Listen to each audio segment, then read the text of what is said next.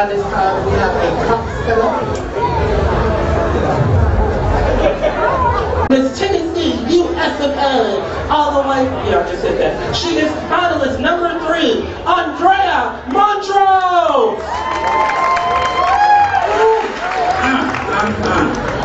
Uh, you know what's going on over here. Uh, I'm hot, y'all.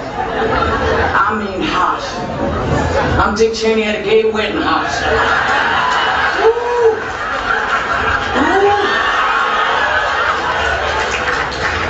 Nobody told me it was gonna be hot like this.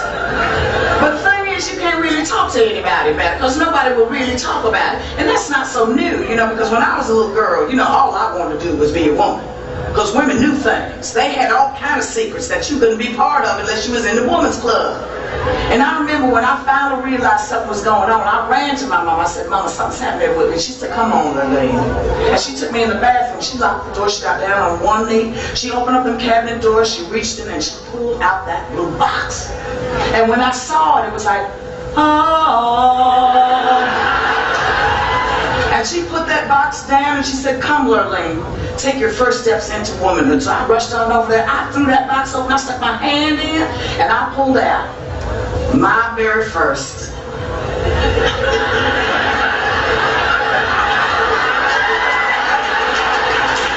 sanitary napkin. Then you gotta hold that sanitary napkin because you had to figure out how to put it on. But when you was done and you took your first steps into womanhood, my God, it was a sight to behold.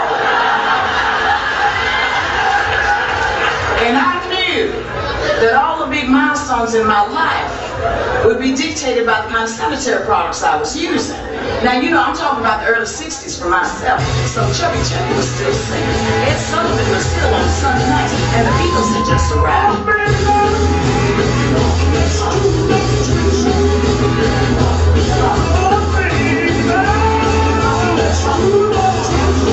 Twisting up twisting back.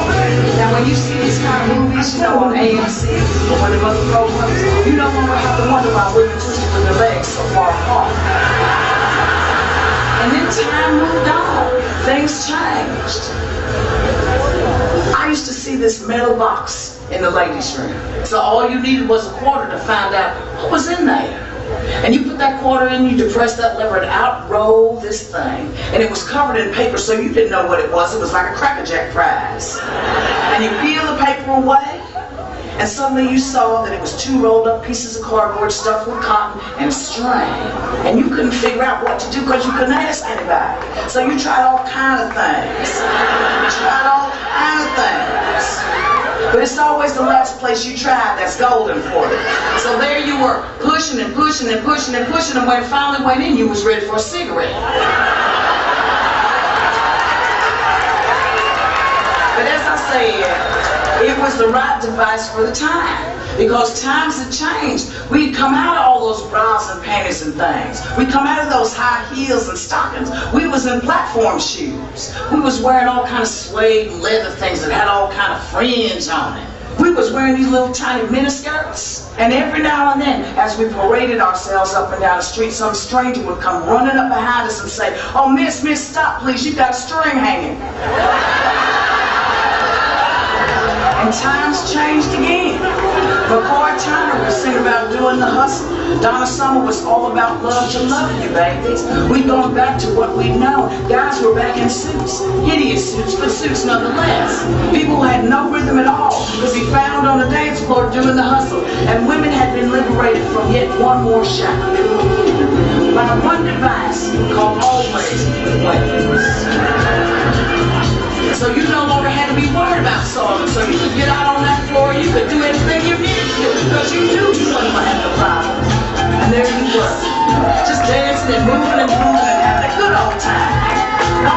Moving and created heat. And all that heat created sweat. And glue and sweat just a mix. So while you were secure in the knowledge that that napkin wasn't really to go anywhere, it never occurred to you that it might pop in places and start to roll towards your. And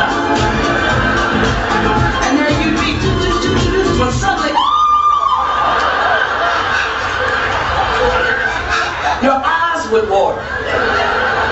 Because you knew what it felt like when pudenda met glue. And then time moved on. Things changed. My son came in. He said, Mama, where's all your 45 records? I said, why? You don't like that music? He said, no, I do. I want you to teach me some of them dances you used to do when you was a kid. I said, oh, go on now. He said, no, really, Mama, come on.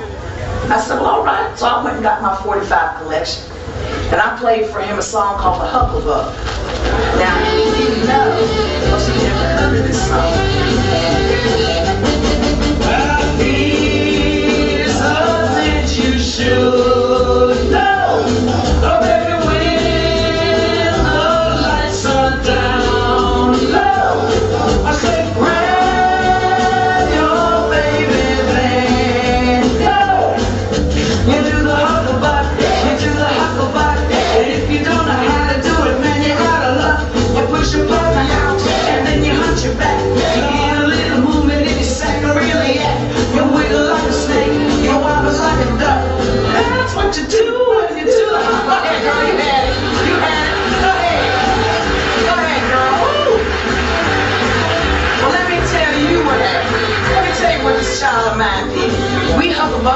Monday, Tuesday, and Wednesday. He went to school, taught his class how to hucklebuck. On Friday, they had a big talent show, which his class entered in one doing the hucklebuck. Now, my son, during all of this, wore around his neck that yellow thing that keeps the 45 blue.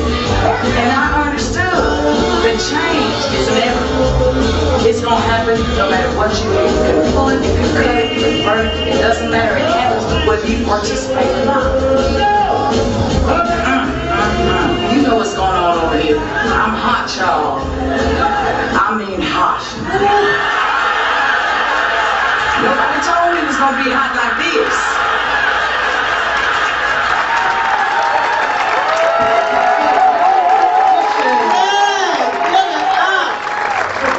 Number three, Ondreah Montrose, representing Tennessee, USofA at large. Whitney, you got something in your shirt. Right? There's something in shirt. There's something in my blouse. Oh, You have this shirt on. oh, no, this is actually a blouse. Oh, is it? Yeah, they don't sell shirts at Ashley School. It's a woman's school. At what? A woman's school. Where? A woman's school. Where? It's an Oak Cliff where women live. Yeah. You What know you, I anything didn't about understand what you're saying. Uh, you know anything about women? Well, what's it that?